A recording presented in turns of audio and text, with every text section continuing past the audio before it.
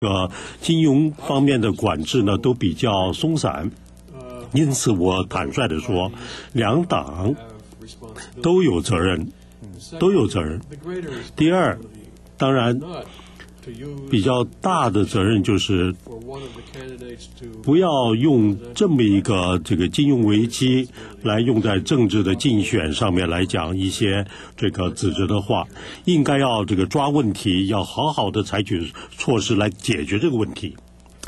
那么现在我们看到这个出现了这样的金融上的问题以后啊，美国政府。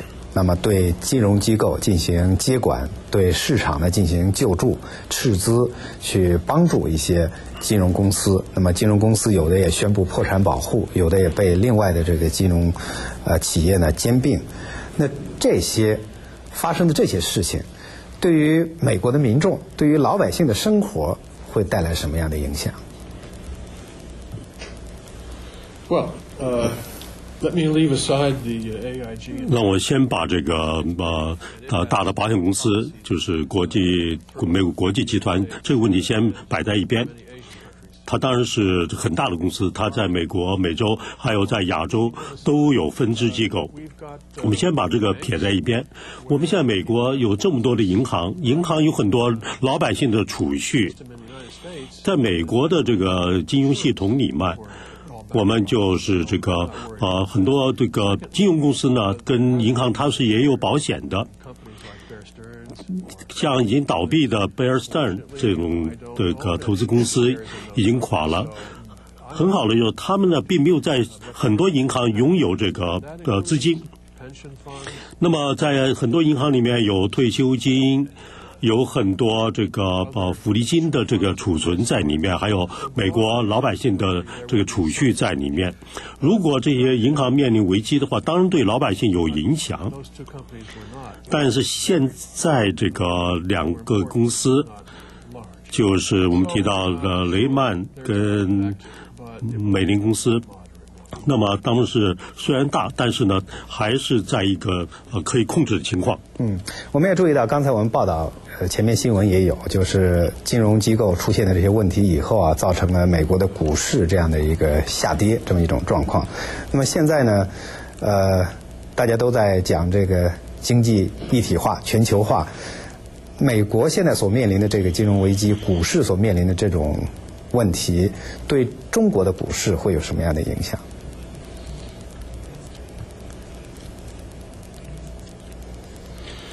Well, for one thing. 呃，从一点来看，我们现在看一看，到底这个我们一个最老的一个投资个银行，这个摩根斯丹利，它是不是面临困难？我你也知道，中国的这个投资银行跟公司，他们拥有摩根斯丹利的这个总额的资金是占百分之十。如果摩根斯丹利有了这个困难的话，那么。就会对中国呢的这个投资银行造成啊很大的损失。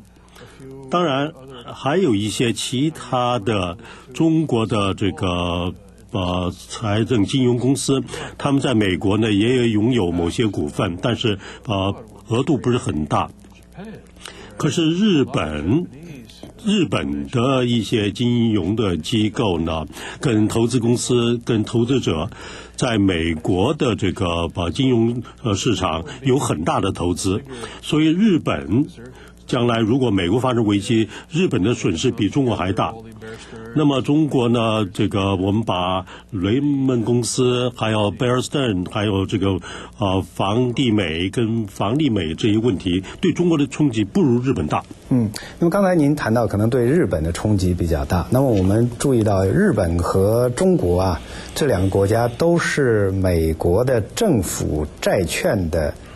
最大的两个持有国，那么日本可能是第一，中国排名第二。就说这两个国家都有美国政府的债券，都是美国政府的这个债权人。那么现在美国出现这样的一个金融危机，对于这样的一个情况，美国是不是应该对外国拥有美国政府这么多的债权，应该引起担心？会有什么样的影响？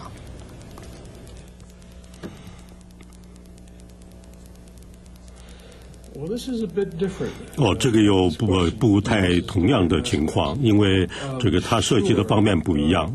Sovereign investment 当然的，这个所谓在这方面的投资是在国际的金融市场里面对于经济影响很大的。您讲的是很更多了，中国跟日本都是美国证券市场的这个债券很大的持有者，还有呢，在中东的一些石油出口的这些国家，他们的银行呢也在美国呃投资，而且购买了大量的美国的证券、公债，还有呢房地产跟这个股市的股票。因此，